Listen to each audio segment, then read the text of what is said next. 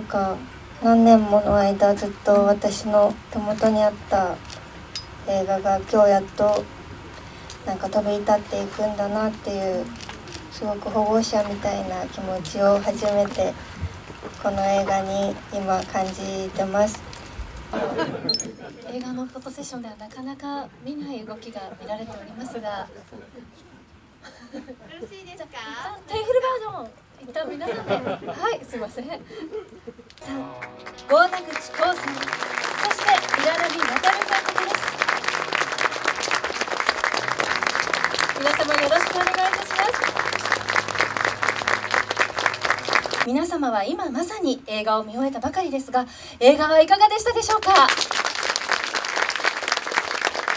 りがとうございますではまず本作で貧困に陥った女子高生カホを演じて映画初主演を果たした主演の中井智さんにご挨拶をお願いいたします。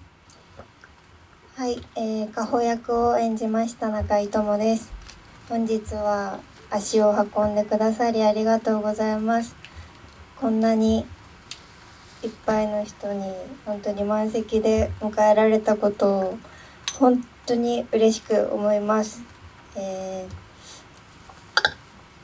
今日はもう今見てくださったと思うんですがもう1回もう2回もう3回見て 見たいと思ってもらえるようなトークを。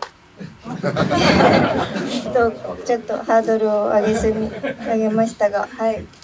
楽しんでもらえればなと思います。よろしくお願いします。ありがとうございます。はい。感想そうですね。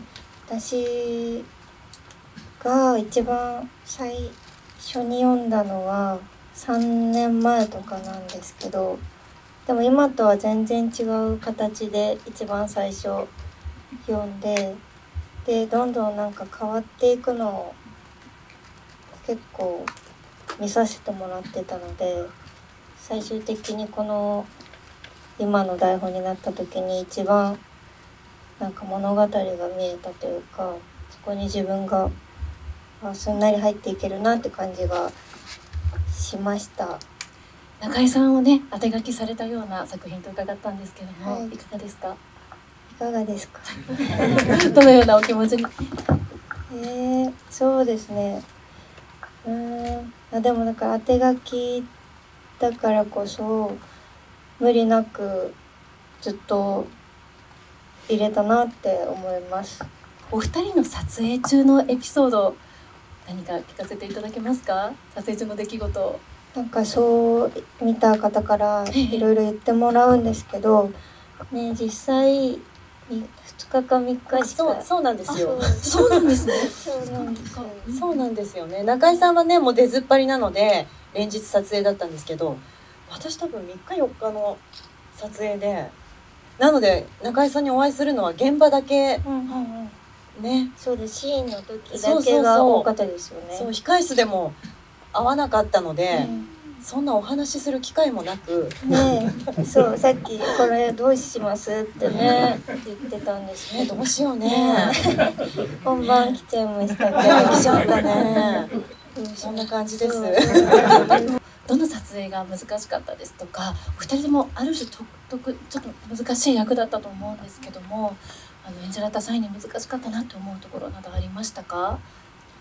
お二人にお伺いします。でもあの机で対峙するシーンはすごくなんかお互い、緊張しましたね。緊張感があって。ねあのいいシーンが撮れてよかったなと思います。うん あの先ほど中井さんもおっしゃってたんですけどもう私現場に行くとカホなんですよしっかり。でもう立ち姿その遠くから見ててもああカホがいるじゃんと思って。でそのまま現場に行ってまあ私が投げるセリフの方が多いですよね。でカホちゃんが受け取るっていう芝居だったので。でもそれも全てちゃんと受け止めてくれてうんなんだかとても頼もしい存在でした。うん、でかと思えば私印象的なのは、あの作中で、えっと12、3歳の設定で写真を撮りましたよね。家族写真。ね。お父さんと。そうそうそう。そうその時はちゃんと123歳になってキャピキャピ騒いでくれるんですよ。本当ですか？思い出したよ。こここで。123歳のカホがキャピキャピしてくれて海のところで写真を撮ってた、そう川そうそう川川沿いで。ね。えどんな感じでキャピキャピされたか聞きたい。もう123歳ですよ。12 3歳。はい。なんかあんまり嬉しくない。褒め言葉。本当に褒め言葉。あなんか素晴らしいなそのね挑み方というかちゃんとその撮影現場に没入してその役としてずっといられるっていうのは素晴らしいなって思いました私本当に。ありがとうございます。貴重なエピソードありがとうございます。とそうですねもちろんその、まあ、映画の主題歌でエンディングであるっていう部分は大きなところなので、まあ、家宝と照之お母さんの気持ちっていうところをしっかり代弁できる歌詞であるようにっていう思いも込めて書いたんですけどまた本作は主人公が未来が見えない中で必死に家族を守ろうと奔走します。これだけは譲れない大切なものがあれば皆様の大切なものを教えてくださいでしょうか。もう一言でもいいですよ。はい。大切なもの。譲れないもの。どうですか監督。じゃあ監督からいきましょう。はい。え映画じゃないですか？ね。お。映画です。ございます。はい映画です。これはえーそれでは最後に中井さんそして監督から一言ずつご挨拶いただきたいと思います中井さんからお願いいたしますはい、本日はお越しくださりありがとうございました。となんか何年もの間ずっと私の手元にあった映画が今日やっとなんか飛び立っていくんだなっていうすごく保護者みたいな気持ちを初めてこの映画に今感じてます。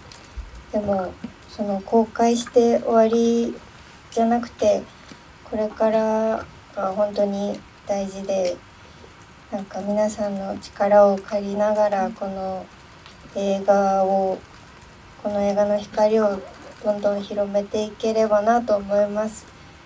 本日はありがとうございました。ありがとうございます。最後に監督からお願いいたします。